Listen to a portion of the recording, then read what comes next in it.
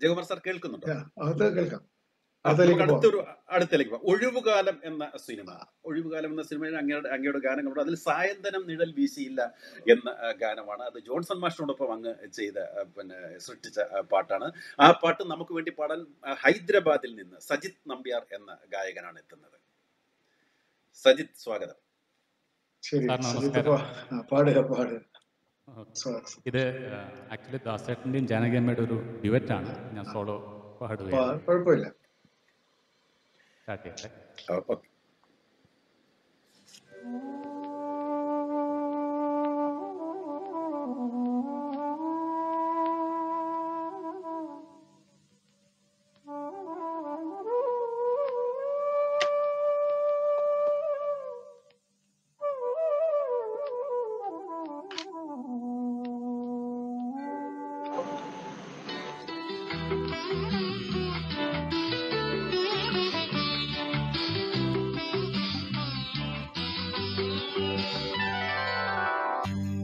ചന്ദനം നിഴൽ വീശിയില്ല ശ്രാവണ പൂക്കളുറങ്ങിയില്ല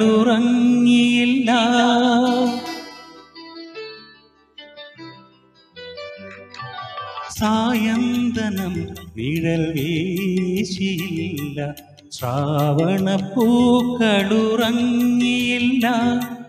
പോയി പോയ നാളിൻ മയിൽപീലി മിഴികളിൽ നീലാഞ്ജനദ്യുതി മങ്ങിയില്ല. സായന്തനം നിഴൽ വീശിയില്ല. ശ്രാവണ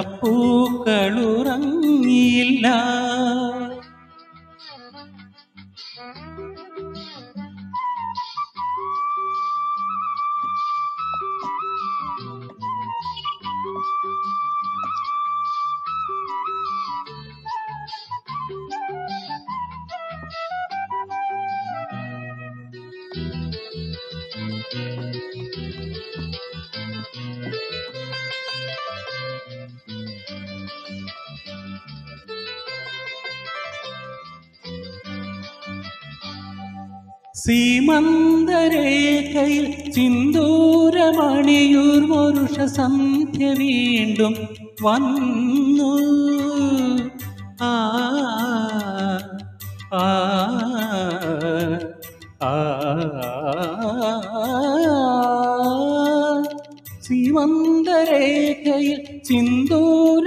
സിന്ദൂരമണിയുമൊരുഷ സന്ധ്യ വീണ്ടും വന്നു.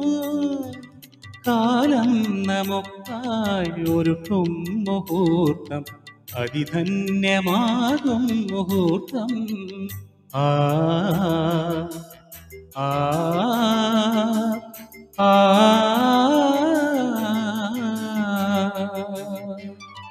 സായന്തനം നിഴൽ വീശിയില്ല. ശ്രാവണ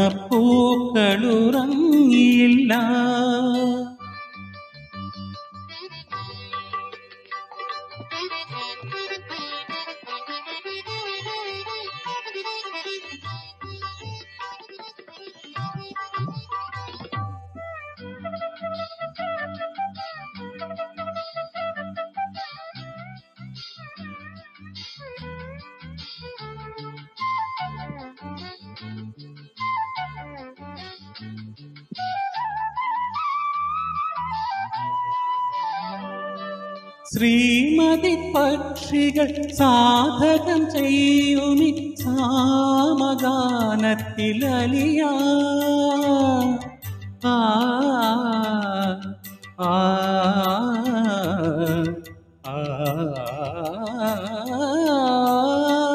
ശ്രീമതി പക്ഷികൾ സാധകം ചെയ്യുമി സാമഗാനത്തിലലിയ പ്രാണനിൽ വിങ്ങുമ മൗനം. ചിറകുക കേടും മൗനം. ആ ആ ആ.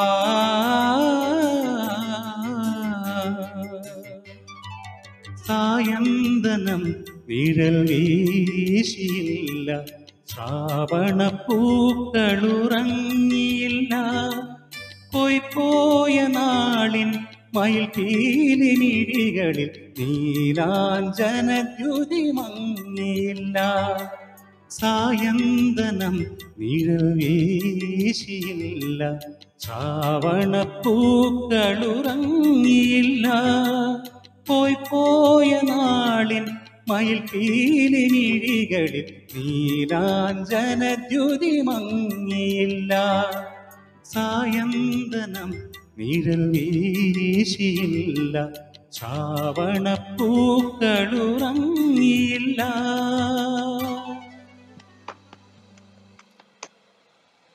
താങ്ക് യു താങ്ക് യു ഈ ഡ്യൂറ്റ് തന്നെ തന്നെ ഒരാളായിട്ട് പാടുമ്പോൾ ഒരുപാട് പ്രശ്നങ്ങളുണ്ട്. ശ്വാസം വിടാനുള്ള സ്ഥലം ഉണ്ടാവില്ല.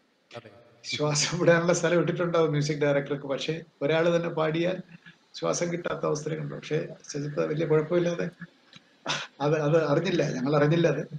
പാടി. എനിക്ക് വളരെ ഇഷ്ടപ്പെട്ട ഒരു പാട്ടാണ്. എന്റെ പാട്ടുകളിൽ എനിക്ക് വളരെ ഇഷ്ടപ്പെട്ട ഒരു പാട്ടാണ്. ആദ്യകാലത്ത് എഴുതിയ പാട്ടാണ്. ഒരു പക്ഷെ ആദ്യത്തെ രണ്ടാമത്തെ പടമാണല്ലോ വളരെ പ്രായമായ ഒരു നായകനും നായികയ്ക്കും വേണ്ടിയിട്ട് എഴുതിയ പാട്ടാണ്. ഓക്കെ. അതുകൊണ്ടാണ് സായന്തര നിഴൽ വീശിയില്ല എന്ന് പറയുന്നത്. എന്റെ ജീവിത സാഹചര്യത്തിൽ ഞാൻ വിചാരിക്കുന്നത് തന്നെയാണ്. വീശിയിട്ടില്ല ഒരുപാട് കാര്യങ്ങൾ ചെയ്യാറുണ്ട് എന്ന് നമുക്ക് ഓർമ്മിപ്പിക്കുന്ന ഒരു പാട്ട് ശ്രാവണ പൂക്കൾ ഉറങ്ങിയിട്ടില്ല. അതാണല്ലോ. അപ്പൊ അങ്ങനെ ജോൺസണുമായിട്ട് ഞാൻ ആദ്യം ചെയ്യുന്ന ഒരു പടമാണ് പിന്നെ രണ്ട് പ്രതിഭാശാലികളായിട്ടുള്ള ആളുകളാണ് ഇതിന്റെ പിന്നിൽ. ഭരതനും പത്മരാജനും. അപ്പോ ഞാനന്ന് എഴുതി തുടങ്ങുന്നേ ഉള്ളൂ. എന്റെ ആദ്യത്തെ പടമാണിത്. ഓക്കെ. അപ്പോ ഇതിലെ ചില വരികളൊക്കെ സാധാരണ സിനിമാ പാട്ടുകളിൽ കാണാത്ത ചില വരികൾ. ഇപ്പൊ നീലാഞ്ജനം ദ്യുതി മങ്ങിയില്ല അപ്പോ പത്മരാജൻ പറഞ്ഞു അത് വളരെ നന്നായി. കാരണം സാധാരണ സിനിമാ പാട്ടിൽ ഉപയോഗിക്കാത്ത വരികളാണല്ലോ. അപ്പൊ അങ്ങനെ തന്നെ ഒരു ഒരു പ്രോത്സാഹനം പത്മരാജനും തന്നു അപ്പോ അപ്പൊ ആരോ ചോദിച്ചു ശ്രീമതി പക്ഷി എന്ന് പറഞ്ഞാൽ ആരാണ് എന്ന് ചോദിച്ചു. അങ്ങനെ ഒരു പക്ഷി ഉണ്ടോ പറഞ്ഞു അതില്ല. പക്ഷിയില്ല. പക്ഷേ ഇതിലെ കഥാനായിക ഒരു ശ്രീമതിയാണ്. ഒരു വിവാഹിതയാണ്. വിവാഹിതയായിട്ടും പഴയ കാമുകനോടൊപ്പം അങ്ങനെ കാണുമ്പോഴുള്ള ഒരു സന്ദർഭമാണ് പാട്ട്. അപ്പൊ അവളുടെ ഒരു വൈവാഹിക സ്റ്റേറ്റസ് ഓർമ്മിപ്പിക്കുക എന്നുള്ളതാണ് ശ്രീമതി പക്ഷികൾ എന്ന പ്രയോഗത്തിന്റെ അർത്ഥം. അതുപോലെ തന്നെയാണ് ആദ്യം ശ്രീമന്തരേഖയിൽ സിന്ദൂരമണിയും ഋഷസന്ധ്യ വീണ്ടും വന്നു എന്ന് പറയുന്ന കുറെ കുറെ നല്ല വാക്കുകൾ വെച്ചതല്ല. അവൾ അവൾ സുമംഗലിയാണ് എന്ന് ഓർമ്മിപ്പിക്കാനാണ് അല്ലെങ്കിൽ സൂചിപ്പിക്കാനാണ് ആ വാക്കുകൾ ഉപയോഗിച്ചിരിക്കുന്നത്. എപ്പോഴും ഒരു കവി അല്ലെ ഒരു നല്ല ഗാനരചയിതാവ് ഒരു വാക്കും അർത്ഥമില്ലാതെ നമ്മളൊക്കെ ചിലപ്പോൾ ഉപയോഗിച്ചിട്ടുണ്ടാവാം. പക്ഷെ കഴിയുന്നതും എന്തെങ്കിലും ഒരു ലക്ഷ്യമില്ലാതെ നമ്മളൊരു വാക്ക് അവിടെ ഉപയോഗിക്കാൻ പാടില്ല. അതുകൊണ്ടാണ് സീമന്തരേഖയിൽ സിന്ദൂരമണി എന്നത് എപ്പോഴും സുമംഗലികളാണല്ലോ. പക്ഷെ ഇവിടെ പിന്നെ മൂവന്തി എന്താണ് സിന്ദൂരമണി എന്ന ഋഷസന്ധ്യയാണ് പറയുന്നത്. പക്ഷെ എങ്കിൽ പോലും അതാണ് ഇമേജറിയുടെ ഒരു ഒരു ഒരു ഗുണം. ഇമേജറിയിലൂടെ നമ്മൾ ദ്യോതിപ്പിക്കുക എന്നുള്ളത് ഈ പാട്ടിനെ പറ്റി പറയാൻ സമയം- കുറവായതുകൊണ്ടാണ് ഞാൻ കുറച്ച് കുറയ്ക്കുന്നത് കേട്ടോ. സാറ് ഞാൻ ഞാൻ നേരത്തെ തന്നെ സൂചിപ്പിച്ചില്ലേ പാട്ട് കേൾക്കുന്നതോടൊപ്പം അങ്ങയുടെ ഇത്തരം പിന്നെ. കേൾക്കുക എന്നുള്ളത്. അതുകൊണ്ട് അതിലും മടിക്കണ്ട. ഒ- ഒതുക്കി പറയാം. Okay okay okay. എന്തായാലും സന്തോഷം സന്തോഷം സാർ. നമുക്ക് സജിത്ത് സജിത്തിനും നന്ദി പറയുന്നു. ഒപ്പം ആദ്യ രണ്ട് ആദ്യ രണ്ട് ഗാനങ്ങൾ പാടിയ ദിലീപിനെയും നികിതയ്ക്കുമുള്ള നന്ദിയും പറയുന്നു കേട്ടോ. ഞാനത് പറയാൻ സൂചിപ്പിക്കാൻ മറന്നു പോയിരുന്നു സജിത്ത് വളരെ സന്തോഷം. Thank you. താങ്ക് യു എന്തായാലും സാറ് പിന്നെ ലളിതഗാനത്തെ കുറിച്ചും പിന്നെ മാഷുമായിട്ടുള്ള ഓർമ്മയെ കുറിച്ച് പങ്കുവെച്ചുകൊണ്ട് തന്നെ നമുക്ക് അടുത്ത സാറിന്റെ സിനിമാ ഗാനങ്ങളിൽ നിന്ന് വേറിട്ട് ഒരു. ലളിതഗാനത്തിലേക്ക് ലളിതഗാനത്തിലേക്ക് തന്നെ പോവാം തീർച്ചയായിട്ടും. അവിടെയാണ് നമ്മൾ ലളിതഗാനത്തിലാണ് നമുക്ക് കുറച്ചുകൂടെ രചന രചന രചയിതാവ് എന്നുള്ളതിലേക്ക് നമുക്ക് സന്തോഷം തരുന്നത്. കാരണം നമുക്ക് ഫ്രീഡം ഉണ്ട് നമ്മൾ ഉണ്ടാക്കുന്ന സന്ദർഭമാണല്ലോ. എന്റെ ആർദ്രഗീതങ്ങൾ ഒരു സിനിമ ഒരു ഒരു ഇത് തന്നെയുണ്ട്. ആൽബം ഉണ്ട്. നല്ല വേറെ ആൽബങ്ങൾ ഉണ്ടെങ്കിൽ ആർദ്രഗീതങ്ങൾ ജെറി അമൽദേവ് ഞാനും കൂടെ ചെയ്തതാണ് നല്ല നല്ല പാട്ടുകൾ. അത് പാടുന്നുണ്ടെന്ന് ഞാൻ ഒരു പാട്ട് പോലും നമുക്ക് മറക്കാൻ പറ്റില്ല.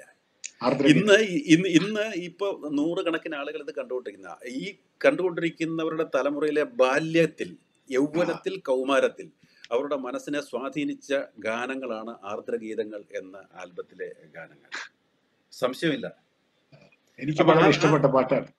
വളരെ ഇഷ്ടപ്പെട്ട പാട്ടുകളാണ്. അതെ. അപ്പം ജെറി അമൽദേവുമായിട്ട് നമ്മൾ സാറ് ചെയ്ത ചില്ലിട്ട വാതിലിൽ വന്നു നിൽക്കാമോ എന്ന പാട്ടാണ് നമുക്ക് അടുത്തതായിട്ട്. സജിത്ത് തന്നെയാണ് പാടുന്നത്. സജിത്ത് ആ ആ വരികൾ എഴുതിയിട്ടാണ് ആ കാസറ്റ് എന്റെ സൃഷ്ടിയിലേക്ക് പോകുന്നത്. ഓ. ഞാൻ വെറുതെ വെറുതെ കുറിച്ചിട്ട് നാല് വരിയാണ് ആ പാട്ടുകൾ. ചില്ലിട്ട വാതിലിൽ വന്നു നിൽക്കാമോ മെല്ലെ തുറന്നു തരാമോ ഏകാന്ത സന്ധികൾ ഒന്നിച്ചു പങ്കിടാം മൗനാവിനുവാദം തരാം അപ്പൊ ജെറി അമൽദേവ് കോഴിക്കോട് നമ്മുടെ നെഹ്റു ട്രോഫി ഫുട്ബോളിന്റെ രണ്ട് പാട്ട് കമ്പോസ് ചെയ്യാനായിട്ട് വന്നതാണ്. അപ്പോ ജെറി വെറുതെ ഇരിക്കുന്ന ഒരു സമയം പാട്ട് വന്നിട്ടില്ല. അപ്പൊ ജെറി ചുമ്മാ ഇരിക്കുകയല്ലേ? ഞാൻ നാല് വരി എന്റെ ഒരു നാല് വരിയുണ്ട്. ജെറി ഒന്ന് നോക്കെന്ന് പറഞ്ഞിട്ട് ഞാൻ കൊണ്ട് ജെറിയെ എൻഗേജ് ചെയ്യാൻ വേണ്ടി കൊണ്ട് കൊടുത്തതാണ്.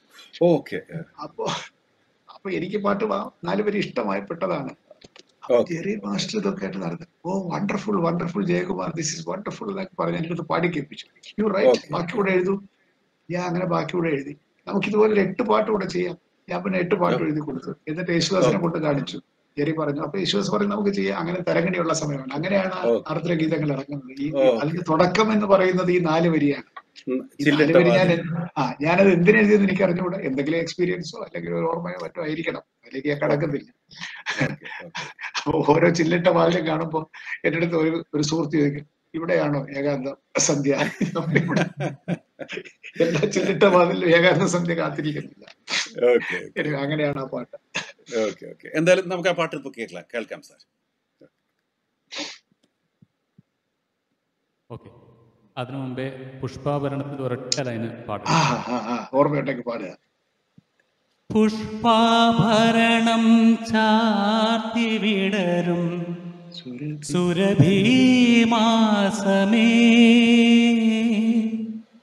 നെഞ്ചോടു ചേർത്തു വച്ചോമനിക്കാൻ അഞ്ചിതൾ പൂത്തരില്ലേ? തരില്ലേ? അഞ്ചിതൾ പൂത്തരില്ലേ? അല്ലേ? അങ്ങനെയല്ലേ അത്? ആ അത് കറക്റ്റ് കറക്റ്റ് ഓക്കെ ആ നെഞ്ചോട് ചേർത്ത് വെച്ച് ഓമനിക്കാന്നുള്ള ഞാൻ വിട്ടുപോയി. പ്രായമായതുകൊണ്ടായിരിക്കും വലിയ നെഞ്ചോട് ചേർപ്പില്ലല്ലോ.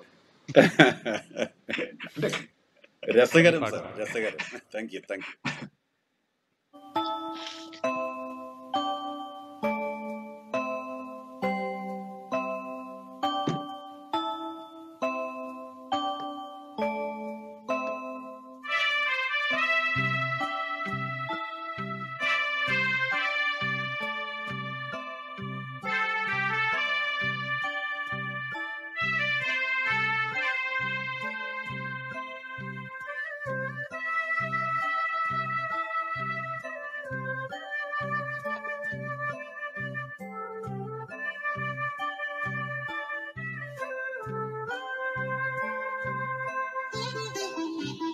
ചില്ലിട്ട വാതിലിൽ വന്നു നിൽക്കാമോ? മെല്ലെ തുറന്നു തരാമോ? ഓ മെല്ലെ തുറന്നു തരാമോ? ചില്ലിട്ട വാതിലിൽ വന്നു നിൽക്കാമോ? മെല്ലെ തുറന്നു തരാമോ? ഓ മെല്ലെ തുറന്നു തരാമോ? ഏകാന്ത സന്ധ്യകൾ ഒന്നിച്ചു പങ്കിടാൻ മൗനാനുവാദം തരാമോ? ചില്ലിട്ട വാതിലിൽ വന്നു നിൽക്കാമോ? മെല്ലെ തുറന്നു തരാമോ? ഓ മെല്ലെ തുറന്നു തരാമോ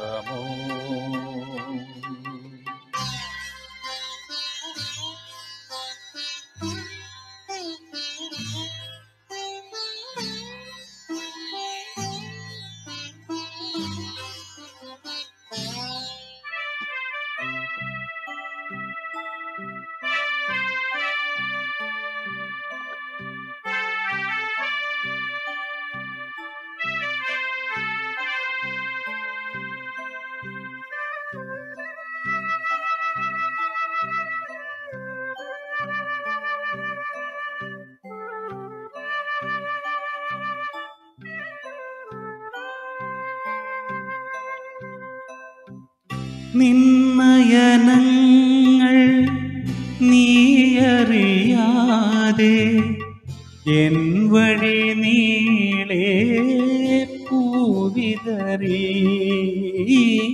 മുകിലിൽ മറയും മതികല നിന്നെ നിറയെ കാണാൻ കൊതിയായി. എന്നാത്മഗാനങ്ങൾ എന്തെന്നറിയാമോ? എന്തെന്നറിയാമോ? ചില്ലിട്ട വാതിലിൽ വന്നു നിൽക്കാമോ? മെല്ലെ തുറന്നു തരാമോ? ഓ മെല്ലെ തുറന്നു തരാമോ?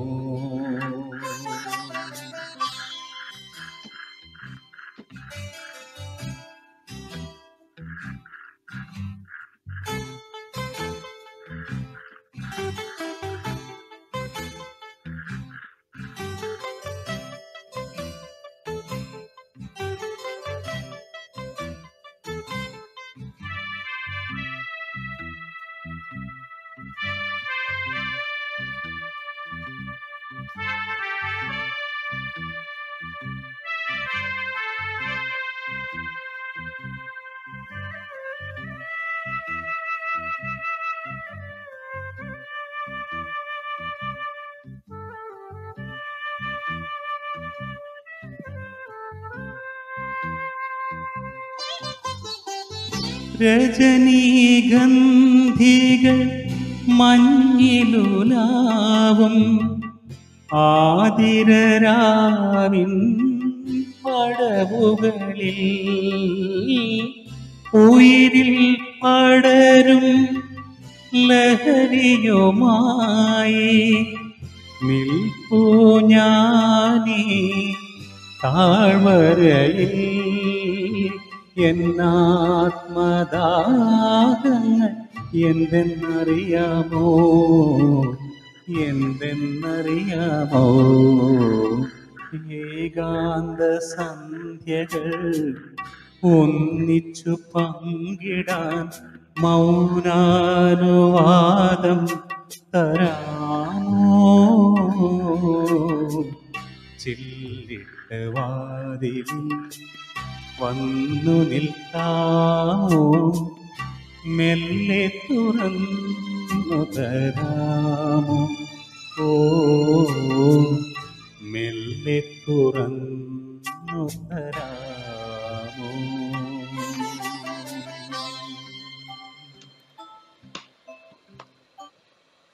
Thank you Sajith sir thank you വളരെ ഗംഭീരമായിട്ട് പാടി. അതാണ്. അതിന്റെ ഭാവമാണ് പാട്ടിന്റെ അതിന്റെ ഭാവം. അതെ. ഗംഭീരമായിട്ട് നിലനിർത്തി. എനിക്കും വളരെ എനിക്ക് ഞാൻ തന്നെ ആ പാട്ടിൽ നമ്മൾ വളരെ വർഷങ്ങൾക്ക് ശേഷം എഴുതിയതാണ്. എനിക്ക് തോന്നുന്നു എല്ലാ പാട്ടുകളും അതിമനോഹരമായ ഗാനങ്ങളാണ്. അതിമനോഹരമായ ഗാനങ്ങൾ. മുപ്പത്തഞ്ച് വയസ്സിൽ അപ്പൊ തീർച്ചയായിട്ടും ആ മുപ്പത്തഞ്ച് വയസ്സിന്റെ യൗവനം ആ പാട്ട് ഓരോ ഉണ്ട് ഉണ്ട് ഉണ്ട് ഉണ്ട് ഉണ്ട് സാറേ ഈ ഈ പ്രേമഗീതകം പാടാൻ നീ മറന്നു? നീ മറന്നു. രണ്ടുപേര് രണ്ടുപേര് രണ്ടുപേരും ഒന്ന് പാടാൻ പറ്റുമോ പാട്ടില്ല പാടില്ല. പാട്ട് കൂടെ പാടാന്നല്ലാതെ പാട്ട് സജിത്ത് പാടാൻ നീ മറന്നു. രാത്രിലില്ലികൾ ചൂടാൻ നീ മറന്നു. ഈ പ്രേമഗീതകം പാടാൻ നീ മറന്നു. എല്ലാ എത്ര ഫീലുണ്ട് ഫീലുണ്ട് അതെ അതെ. രാത്രി ലില്ലികൾ അതെ അതെ. അതാണ് എന്റെ എന്തൊരു എന്തൊരു സങ്കടം. മറ്റൊരു പാട്ടുണ്ടല്ലോ സാറേ അതിൽ. ഇനി നല്ല ചിറകാർന്നു പറന്നുയരാൻ. വളരെ അത് വാസ്തവത്തിൽ ട്യൂൺ അത് ട്യൂണിട്ട് എഴുതിയ പാട്ടാണ് കേട്ടോ. അപ്പൊ ആ കാരണം എല്ലാം ഒരുതരം തീരെ ലയം കൂടിയ പാട്ടായതുകൊണ്ട് എന്നോട് ജെറി പറയുന്നത് നമുക്ക് ഒരു ഒരു ഒരു ജോഷുള്ള ഒരു പാട്ട് വേണം. അപ്പൊ ട്യൂൺ ഇട്ട. ആയിക്കോട്ടെ ട്യൂൺ ഇട്ട കുഴപ്പമില്ല. അങ്ങനെയാണ് ഈ നീല വിശാലതയിൽ നല്ല രസമുള്ള പാട്ടാണ് ട്യൂൺ ഇട്ടതാണെന്ന് തോന്നുകയല്ല. ട്യൂണിട്ടതാണെന്ന് തോന്നുന്നില്ല അതെ. അതെ അതെ അതെ സജിത്തിന് സജിത്തിന് താളം കിട്ടുമോ ഇനി നീലവിശാലതയിൽ ചിറകാർന്നു പറന്നുയരാ. ഇനി ദൂരെ അനന്തതയിൽ സ്വരവീതികളായൊഴുക ഋതുശാരിക പ്രിയ ഗായിക ഋതുശാരിക ഗായിക കൂട്ടിനു വരുമിനി നീലവിശാലതയിൽ ചിറകാർന്നു പറന്നുയരാൻ എത്ര ഗംഭീരം. സാറിന്റെ മുപ്പത്തഞ്ചാമത്തെ വയസ്സിൽ അന്നത്തെ ഒരു യുവ അന്നത്തെ മാത്രമല്ല ഇന്നും ഇന്നും ആ പാട്ട് കേൾക്കാൻ യുവാക്കൾക്ക് കേട്ടാൽ തീർച്ചയായിട്ടും അവരുടെ മനസ്സിൽ വല്ലാതെ കുളിരണി ഒരു സംശയമില്ല സാർ അതിനകത്ത് മറ്റൊരു പാട്ടുണ്ടല്ലോ സാർ. അന്ന് സന്ധ്യക്ക് ഒന്നായി മഞ്ഞണിഞ്ഞില്ലേ? മഞ്ഞു പെയ്യുന്ന രാവിൽ എന്തോ കാത്തു നിന്നില്ലേ? ഓർമ്മയില്ലേ.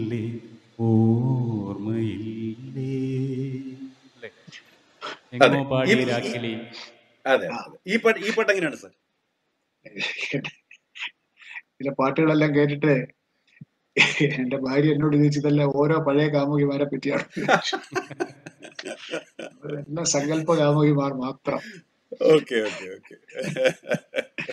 അല്ല ഈ- അന്നസന്ധിക്കൊക്കെ നല്ല അതെ അത് അതിനകത്ത് ഒരു- ഒരു- ഒരുപാട് സംഗതികളുണ്ട്. അതെ അതെ അതെ. സാർ അപ്പം അപ്പം അപ്പം ചേച്ചി അങ്ങനെ ചോദിച്ചെങ്കിൽ ഈ പാട്ടിന് എന്തായിരിക്കും ജന്മസാഗര സീമയിൽ നിന്നെയും തേടി വന്നു ഞാൻ. ഭാര്യയെ പറ്റി തന്നെയാണല്ലോ അല്ലേ? എത്ര സംക്രമ സന്ധ്യകൾ നിന്റെ ശ്രീമുഖം തേടി നിന്നു ഞാൻ. ശ്രീമുഖം തേടി നിന്നു ഞാൻ. ശ്രീമുഖം എന്നുള്ളൊരു പുതിയ പ്രയോഗമാണെന്നാണ് ഞാൻ കരുതുന്നത്. അങ്ങനെ അധികം പ്രയോഗിക്കാറ് ശ്രീമുഖം. അതെ അതെ. സാഗര നീലിമയോ? ആ അത് പിന്നെ സാഗര നീലിമയോ കണ്ണിൽ പ്രേമസാഗരമോ? അങ്ങനെയാണ് പ്രേമസാഗരല്ല കാകലിയോ ഓക്കെ ഓക്കെ ഓക്കെ എന്തായാലും വീണ്ടും വീണ്ടും വീണ്ടും വീണ്ടും നമ്മുടെ ആ മനോഹരമായ ആ കാലത്തെ ഓർമ്മപ്പെടുത്തുകയാണ് ആർദ്രഗീതങ്ങൾ എന്ന പിന്നെ ആൽബത്തിലെ പാട്ടുകൾ. അതിന്റെ രചയിതാവിൽ നിന്ന് തന്നെ അതിനെക്കുറിച്ച് കേൾക്കാൻ കഴിഞ്ഞതും ഈ സദസ്സിന് വലിയ ഭാഗ്യമാണെന്ന് കരുതുകയാണ്. എന്തായാലും ആ പാട്ടിന്റെ സൃഷ്ടി എനിക്ക് മുപ്പത്തഞ്ചാമത്തെ വയസ്സ്. എനിക്ക് തോന്നുന്നു അദ്ദേഹം ഔദ്യോഗിക ജീവിതത്തിൽ ഏറ്റവും തിരക്കുള്ള ഒരു സമയം കൂടി ആയിരുന്നു കോഴിക്കോട്ടാണ്. കളക്ടറെ കോഴിക്കോടാണ്. കോഴിക്കോട് കളക്ടർ ആയിരിക്കുമ്പോഴാണ് ഒരു ജില്ലയുടെ ഉത്തരവാദിത്തമുള്ള ഭരണാധികാരി രാത്രിയൊക്കെ ഞാൻ ഫ്രീ അല്ലേ? രാത്രി എന്റെ ഞാനും ഞാനും എന്റെ മനസ്സും ഫ്രീ ആണ് അത് ഇപ്പോഴും ഇപ്പോഴും അങ്ങനെ തന്നെ പകലേ ഉള്ള ഉദ്യോഗസ്ഥൻ. രാത്രി ഞാൻ ഞാൻ എനിക്ക് വേണ്ടിയാണ്. എന്റെ കവിതയൊക്കെ ഓക്കെ ഓക്കെ ഓക്കെ മലയാളത്തിന് ഏറെ പ്രിയങ്കരമായ കുറെ വരികൾ എഴുതാനായിട്ട് ആ സമയം ഉപയോഗിക്കും. തീർച്ചയായും അസലായിട്ട് പാടി കേട്ടോ. നന്നായി. സജിത്തിനും. പ്രത്യേക പ്രത്യേക താങ്ക്സ് എല്ലാം you Okay, okay. Thank you, Sajid. Thank you, Sajid.